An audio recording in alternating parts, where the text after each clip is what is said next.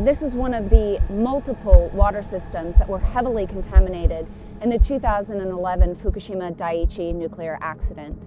Um, much of the terrestrial land contamination landed in these forests behind me.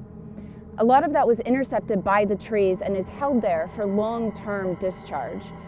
These water systems, particularly with spring melt, uh, as well as with the typhoons in the fall, are bringing down large amounts of contaminated sediment that then is discharged into the estuaries and into the marine environment.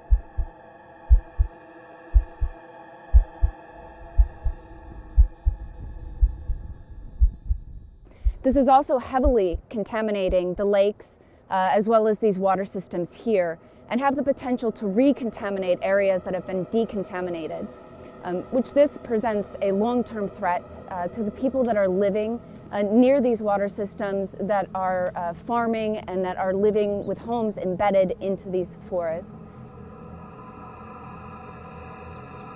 Unfortunately, the Japanese government has been trying very hard uh, to normalize nuclear disasters.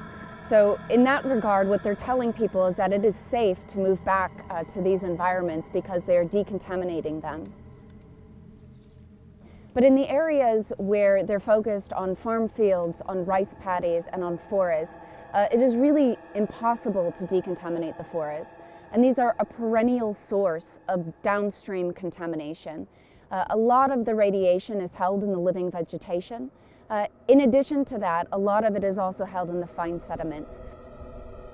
Greenpeace is on the ground here doing another investigation of the radioactive contamination uh, in Fukushima Prefecture. And we are also currently off the coast uh, of Fukushima with our flagship, the Rainbow Warrior, doing marine sediment surveys, uh, really bringing to light the ongoing contamination, the ongoing nuclear crisis uh, that is happening not only in Fukushima Prefecture, but in other areas that have been impacted by this nuclear disaster.